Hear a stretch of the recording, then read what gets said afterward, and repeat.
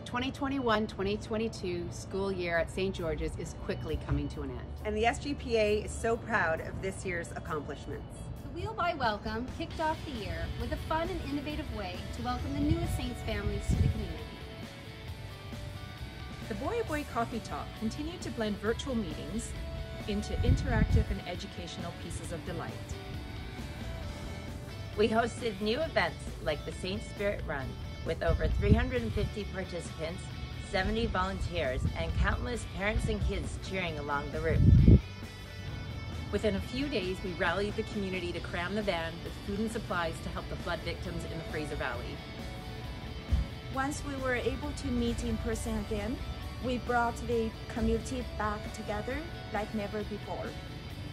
当允许线下活动的时候，校家长协会组织了很多线下的活动，非常感谢大家的积极参与。And we brought back the fair with the country flair. We welcomed over 3,000 participants and had over 500 parent and student volunteers. Staff appreciation was our chance to say yo the best and thank the faculty and staff with a sweet treat and a cup of worms given out by the coffee track. Our great parents hosted coffee mornings in the park, and parent socials after dark. Boxing lessons including how to duck. Even lawn bowling with a champagne truck. Our great parents kept everyone informed and connected.